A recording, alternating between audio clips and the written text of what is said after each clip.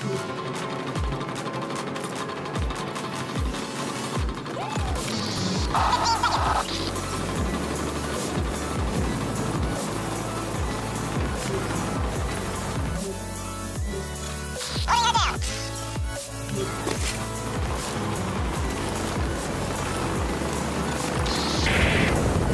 got 30 seconds to lift off.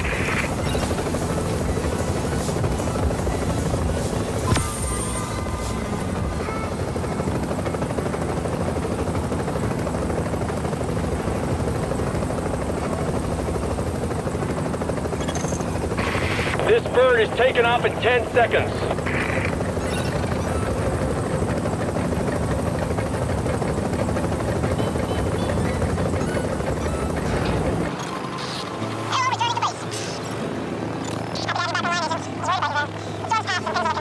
I got